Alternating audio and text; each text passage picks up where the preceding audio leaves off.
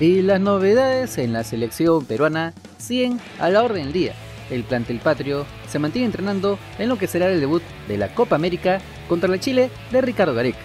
Como se sabe, el equipo de todos viene en medio de serias críticas por el funcionamiento colectivo, pero todo en ofensiva, donde hay una gran cantidad de jugadores cuestionados, como André Carrillo, Pablo Guerrero, Sergio Peña, Piero Quispe y hasta Gianluca Lapadula, por lo que la fanaticada peruana clama porque se hagan cambios en el once inicial o inclusive que se cambie el esquema táctico para trabajar con la clásica defensa de 4 al fondo, donde ya les mostramos en un video anterior lo que podría ser el nuevo armado táctico de la blanquirroja. Aunque esto es poco probable que suceda, ya que el charrúa sigue firme en sus convicciones y seguiríamos con su favorito 3-5-2. Es así que el nono ya estaría planificando sacar su as bajo la manga, el último 10 de la selección peruana, Cristian Cueva. Así indicaron en T Perú. Con la mano. ¡Está Cueva!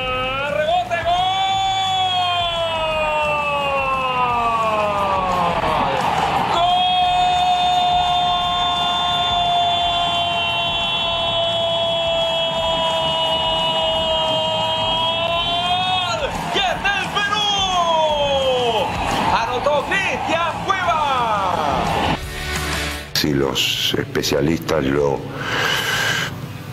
lo, lo aprueban eh, y se puede meter en el grupo a trabajar, bienvenido sea. En el momento, lo único que te puedo decir que nuestra eh, primera meta es tenerlo aunque fuera como invitado casi un mes después de aquella declaración de intenciones por parte de Jorge Fossati. Con Cristian Cueva entrenando en Virena, el estratega uruguayo ya daba indicios de su deseo por contar con el trujillano para la Copa América y pese a que no jugó ninguno de los dos amistosos, el 10 estará en el certamen continental.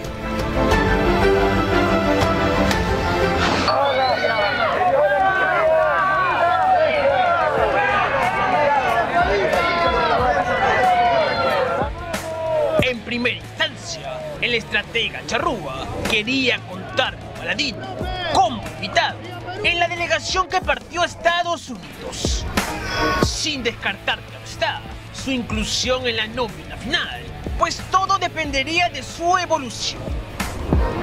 Con la supervisión del departamento médico y su staff, Cueva pasó por varias resonancias magnéticas a lo largo de estas semanas, sin ninguna recaída de por medio y con la contractura muscular ya en el pasado. Fossati tuvo la última palabra y le dio un espaldarazo de confianza. Dudas que surgen principalmente en torno a lo futbolístico. Y es que el ex Alianza Lima acumula ocho meses sin disputar un solo minuto en el verde y más de 10 sin jugar un partido completo. Estadística que podría pasarle factura en un certamen, donde el más mínimo detalle es clave. Sin la certeza si lo utilizará, lo cierto es que Cueva será una opción más de recambio, pues así lo dispuso Fossati, y con mayor razón, dejando fuera de la nómina a Paolo Reina y Matías Zúcar.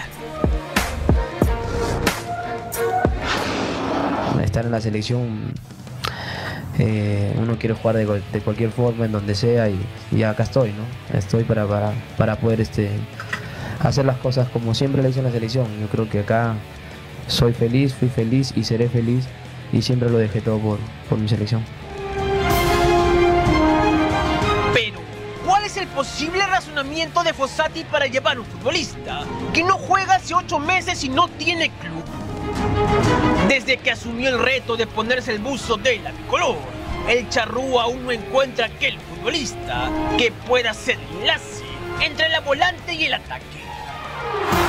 Está claro que Pierre Quispe es más un interior que un mediocampista de avanzada, mientras que Sergio Peña intercala funciones en defensa y en ofensiva, sin ser aquel conductor que necesita el equipo de todos.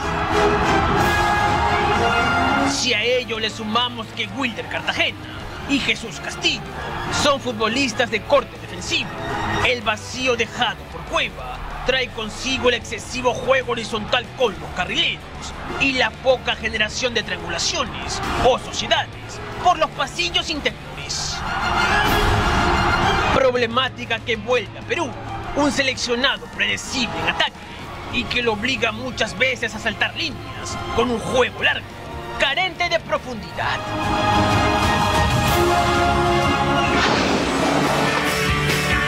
Otro argumento que pesó en la decisión de llevar a Cueva a Estados Unidos es lo que significa para el grupo.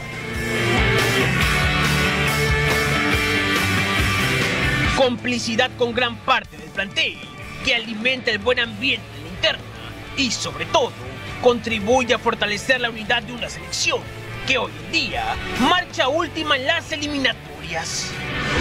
No en vano, varios seleccionados respaldaron el llamado inicial de Cueva con la ilusión, claro está, que representa volver a verlo en su mejor versión con el combinado patrio.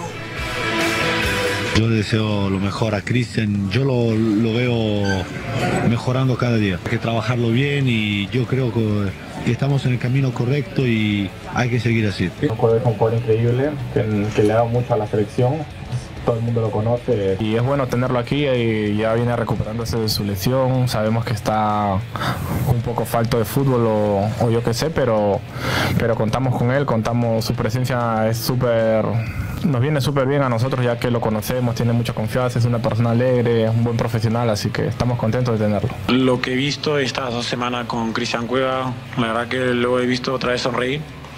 Creo que un futbolista que está disfrutando, creo que es el mejor regalo que nos pueden dar. Si Cristian Cueva se queda, de verdad que por lo que sé es que va, va, va a aportar mucho al, al, grupo en todos los sentidos.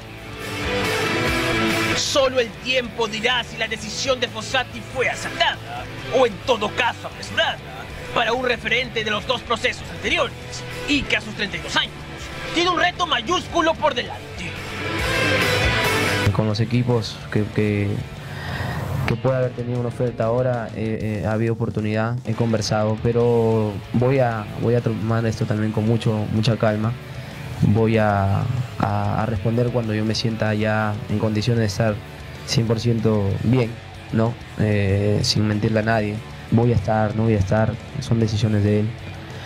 Lo único que sí tenemos claro, tanto él y yo y todo el comando técnico, es que voy a ir poco a poco, paso a paso y un proceso que, que todavía no acaba, todavía no acaba y, que yo, bueno, tampoco quiero apresurar tanto. Eh, pero ya, ya me siento bien, entonces, bueno, voy a, voy a seguir en ese camino, ¿no? ¡Esta cueva!